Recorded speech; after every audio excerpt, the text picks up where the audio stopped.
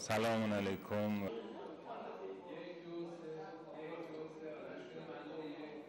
به اینکه آمریکا ضرب العجل دو ماهه ایران رو برای معاوضه سوخت رد کرد آیا ما حرف خاصی یا پیشنهاد جدیدی رو مطرح نکردیم. همونجور که بارها اعلام کردیم نسبت به تأمین سوخت مورد نیاز راکتور تحقیقاتی تهران درخواستمون رو به آژانس دادیم.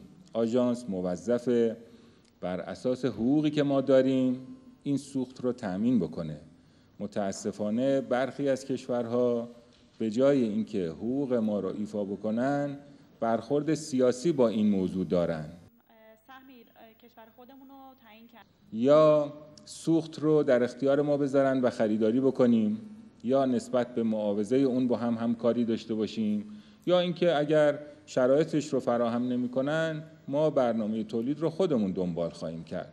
در بحث معاوضه ما آمادگیمون رو اعلام کردیم. چنانچه طرف مقابل برای معاوضه تدریجی و مرحله‌ای آمادگیشو اعلام بکنه راجع به بقیه جزئیات صحبت با هم خواهیم کرد. این مطالب رو شما چهار سال متاسفانه فشارهای سنگینی رو روی این هیئت پارلمانی بعضی از کشورها به خصوص آمریکا وارد کرده بودن که اینا سفر انجام ندن.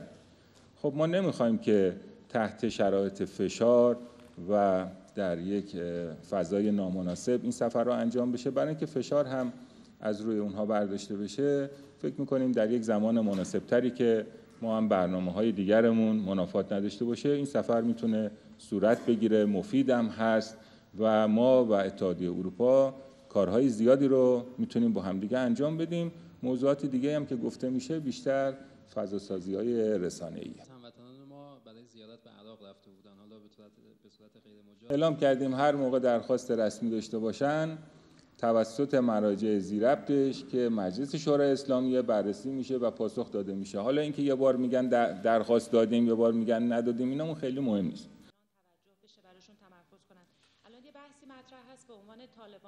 به صورت طبیعی اگر روال قانونیش رو طی بکنه و شرایطی رو که لازمه برای احراز هویت برای صدور برگه عبور اینها انجام بشه ما با دید مثبت رفتار انسانی خواهیم داشت.